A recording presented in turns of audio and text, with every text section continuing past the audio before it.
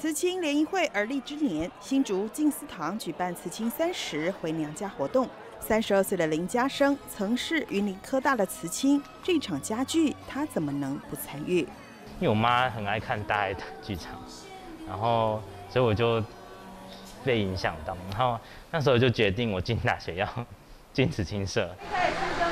奇妙的因缘让他走进慈济大家庭，不止求学阶段是慈青，毕业后也受证成为慈济职工。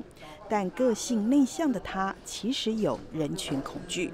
我其实很喜欢独处，然后如果不要跟人家互动，就尽量不要跟人家互动。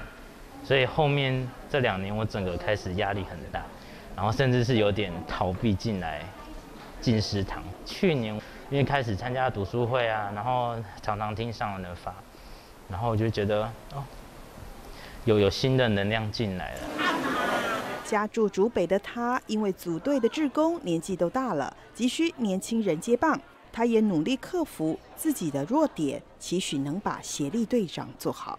我那时候只想到上人，对，所以我就出声说：好好好，那我来承担。那麻烦大家就是要挺我啊，帮助我一下，可以感受到师兄师姐的温暖啊，或是他们的笑容。我觉得这对我还是会有一些帮助的。